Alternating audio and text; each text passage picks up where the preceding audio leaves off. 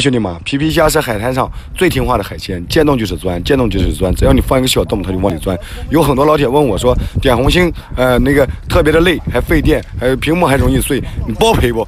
包赔，给你们包赔。点红心加关注啊，一会直播了。哎，你吃我腿干？有好多小伙伴私信跟我说，琵琶虾的壳是异常坚硬的，不知道它的肥度如何，可以给我剪开吗？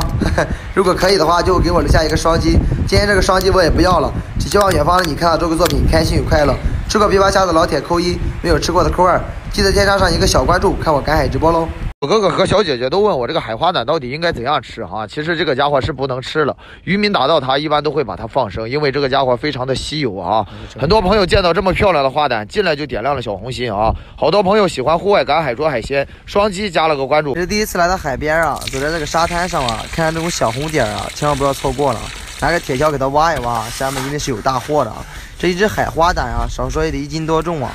别人家的小姑娘啊，都有好多双击啊，不知道我这个小姑娘，不是我这小伙子有没有双击啊？记得加个小小的关注。来吧，兄弟们，一直以来我就有一个梦想，就是或者说说想法吧，就是说我发的段子如果有一百次播放，能有十个人给双击，那该多好！我是不是想多了？这个漂亮的海葵能换回十个双击吗？